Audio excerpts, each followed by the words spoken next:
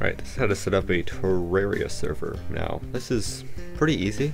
Now, the download link for the original one is not working for me right now. I'll put I'll put a um, upload this file right here, and I'll put the link where I got it from, just in case that does come back up. If it doesn't come up, you just use the other link. So once you have it downloaded, you need a Windows laptop. Now, what you need to do is run it, and we can do new world. If you had a world on there, it'll show up in that list. Now it needs to be a mobile world, not a PC world. And what did it test? And once it does that, it'll create the world. And after that, you'll have a Terraria server. Now, a couple of bugs I have found with this Terraria server. If you do not clear the window, it'll not allow any users to connect to it.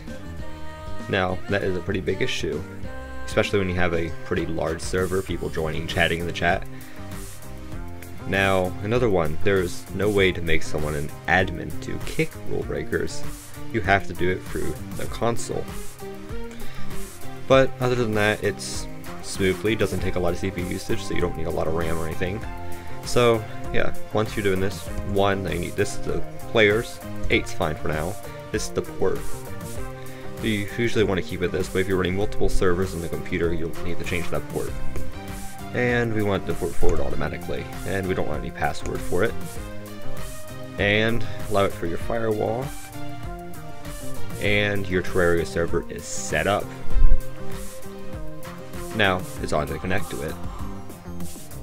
Alright, here inside of Mobile Terraria, we're going to need to select on a character, and you'll have to type in your computer's IP address.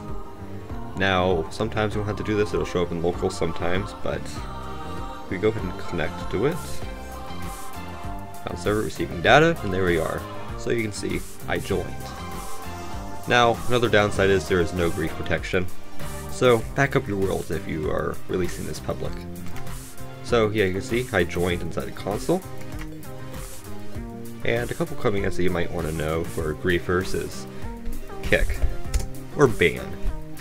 Now, so you just go ahead and do that. That's how you kick someone. And if you want to ban someone, you just replace the kick with ban. Now, there's no tab or anything like that. It doesn't work like that, sadly. But anyway, I can go ahead and get out of this. Now, if you want to exit it, it's not like a Minecraft server. You have to actually type slash exit. And there you go, lost connection. But, yeah, I hope this did help you, and make sure to join my server um, if you guys do like it. Now, think about this, there's also a Minecraft server with the same IP address, just with a different port, default port as well. We have pretty fun games on there, so yeah, I hope this video did help you, and I'll see you guys next time. Goodbye.